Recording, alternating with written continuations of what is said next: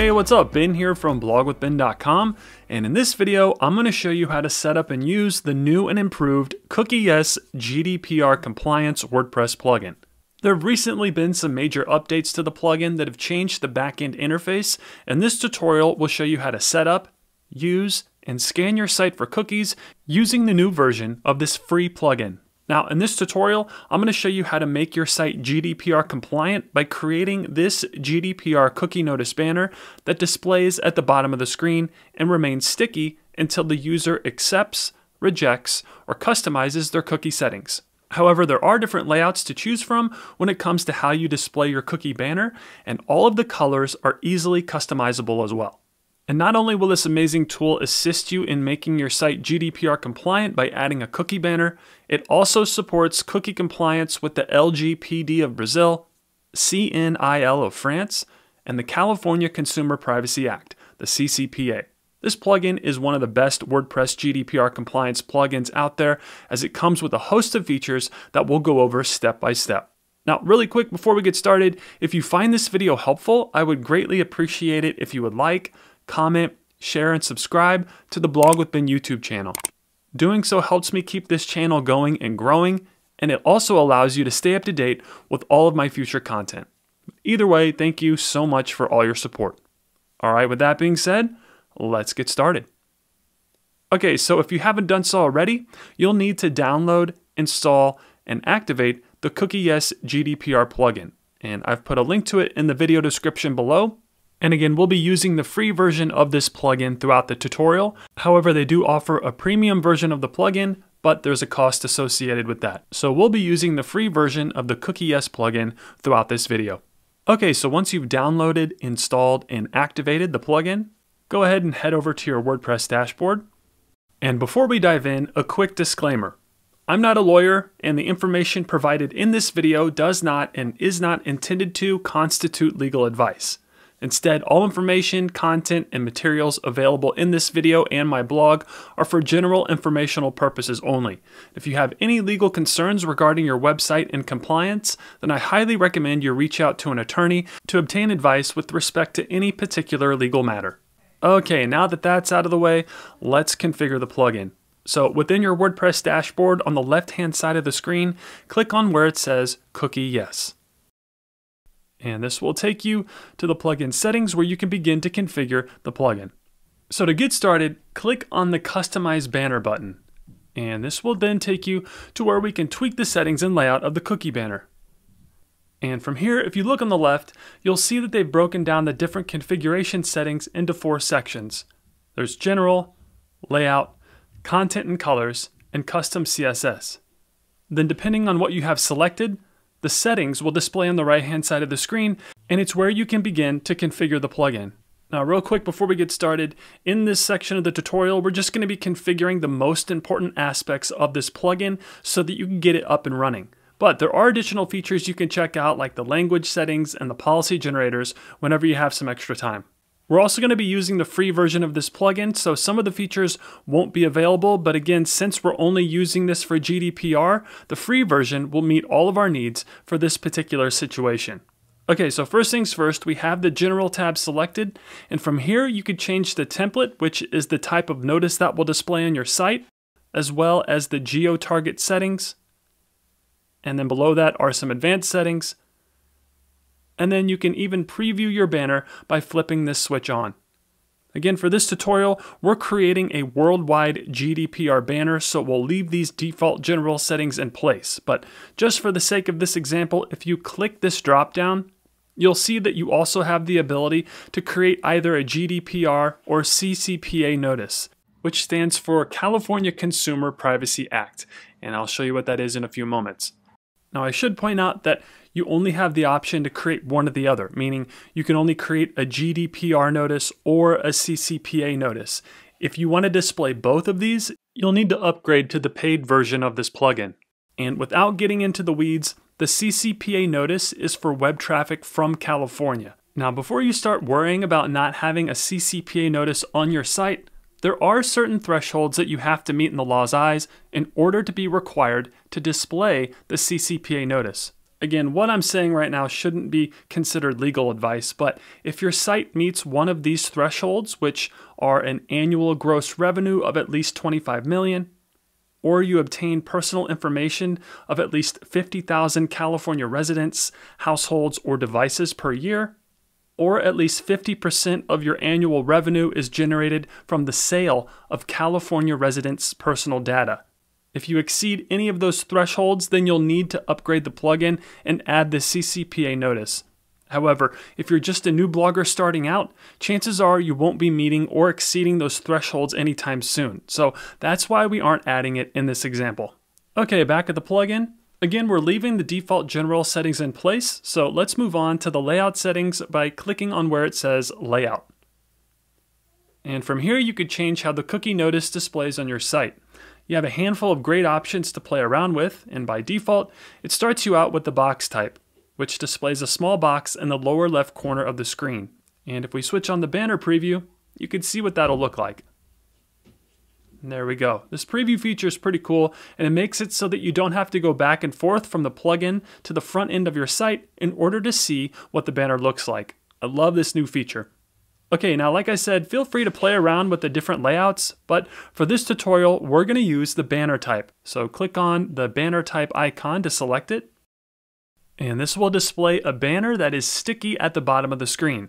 Sticky meaning it will stay there as the user scrolls, which I'll show you in a few moments. Okay, next let's adjust the color scheme. So click where it says Content and Colors. And from here you could change the color scheme of the banner. By default it's using the light version which gives you the white background, but you can change it to dark which will give you a black background, and then custom, which obviously you can customize the colors. However, for this example, we're keeping the light version in place, but again, feel free to test the different color schemes if you'd like. Okay, next, let's configure the cookie notice itself. So click where it says cookie notice to open the settings. Then the first thing you can edit is the actual copy of the notice. I recommend leaving this alone unless you're working with a legal professional that has given you different copy to use for your notice. But again, this is where you can change the content and color of the notice. So depending on the color scheme of your blog, you can change the color of the banner to match your style. However, I'm leaving the default settings in place. All right, moving on to the colors of the buttons. So you'll see that there are three buttons on the banner. Customize, Reject All, and Accept All. And by default, the color scheme is using this royal blue color, which isn't bad, but it won't match my color scheme of the blog.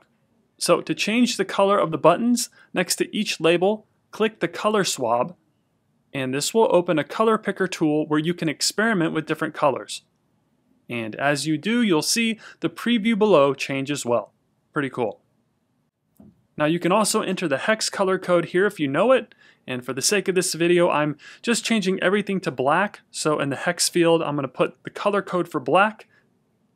And then I'll do that for the remaining buttons as well. But again, feel free to test different colors to see what works best for your blog's color scheme.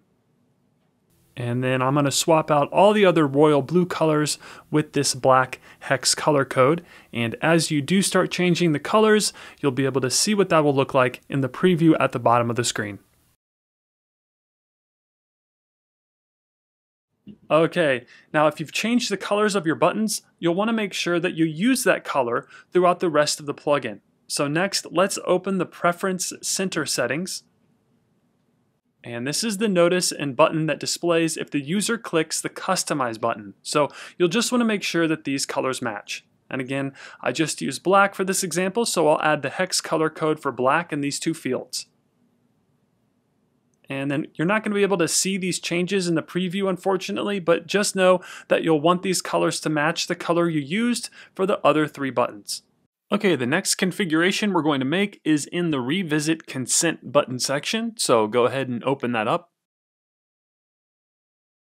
And before we make any changes, let me show you what this is. So if you have the Revisit button on, whenever the user clicks on a button in your notice, the plugin will then give them a way to revisit their cookie settings by displaying this small icon in the bottom left corner of your site. This stays on every page and can actually interrupt the user experience. So for this example, I'm going to remove it. So back at the plugin, to ensure that the revisit button doesn't appear, simply flip this switch off. Okay, that's going to do it for the layout of our cookie banner. So let's publish our changes and make them live before moving on to the last step of this process. So go ahead and click the Publish Changes button. And you should get a notification that the updates were successful. Then the final thing you'll want to do is have the plugin scan your site to see what cookies are being used to track your site's visitors. Once scanned, the cookies being used on your site will be listed in your cookie notice and you'll be GDPR compliant. So the way we'll do this is through the cookie management section of the plugin. So go ahead and click on where it says cookie manager. And this will allow you to manage, monitor, and scan for cookies on your site. On the left is where the plugin categorizes the types of cookies. And then on the right is where you can manually add cookies to each category.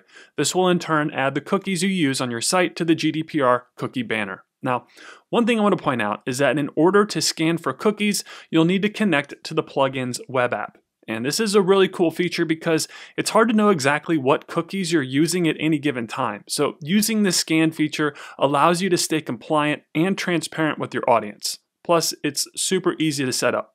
So all you need to do is create a free account by clicking this button, and then you'll sign up and connect to the web app using an email address and password, and then you'll be able to access the app and finish scanning for cookies. So once you've entered your email address and created a password, click the Sign Up and Connect to CookieYes button. And you should get a notification that your site has been connected to the app and you can now manage your cookie settings from your new plugin dashboard. So go ahead and click the Go to CookieYes web app button, and that will bring you to your new CookieYes plugin dashboard. It's fairly similar to what we just configured, but now anytime you need to make a tweak to your plugin settings, the banner layout, or scan for cookies, you'll do so through this app. Now, since this is our first time using the app, we'll need to check our inbox to verify our email address. So let's do that really quick. And you should get an email from CookieYes where all you need to do is click this button and your email address will be verified and you can now have full access to the plugin's web app. So go ahead and click the Go to Dashboard button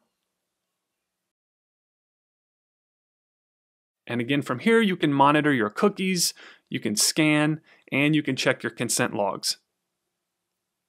Then the additional cookie settings can be accessed here in this menu. And if we click on Cookie Manager, You can see which cookies are being used, which we currently only have one. But as you build your blog and add things like email marketing, social buttons, affiliate marketing ads, and Google AdSense, then you'll want to rescan your site so that those cookies can be accounted for in your notice. So I highly recommend revisiting this plugin and rescanning your site by clicking this Scan Again button. Again, having the cookie notice is the first step in you remaining GDPR compliant and it can protect you legally when it comes to the ever changing privacy and data laws. Okay, so that's going to do it for the configuration of the CookieYes plugin. Now, anytime you want to get back to the web app, simply click this button and you'll be able to rescan, monitor your cookies, and so on. But again, this button will get you back to the web app. All right, so let's check out our banner on the front end of our site. So hover your mouse over your site title in the upper left corner and click on Visit Site. And you can see that the cookie notice banner is displaying at the bottom of the screen. Then when the user scrolls, it stays in place. Then from here, they could either accept or reject all, and this will make the banner disappear. Or they have the ability to customize their settings by clicking the Customize button, and this opens an additional pop-up screen where they can configure the settings to their liking. This also lets you see that the button colors are all matching too. Nice work. Okay, I'm gonna accept all so that this closes. And there we go, your site is now GDPR compliant and you can rest easy knowing that you're staying ahead of the ever-changing data and privacy laws online. So that's gonna do it for this video. If you found it helpful, I'd greatly appreciate it if you would like, comment, share, and subscribe to the Blog with Ben YouTube channel. Also, now that you've started your blog, check out these two videos on email marketing and blog monetization. They'll help you grow your audience and earn a passive income with your blog. And as always, your support means a great deal to me and my family, and for that, I thank you. So with that being said, I'll see you in the next video, and thanks for watching.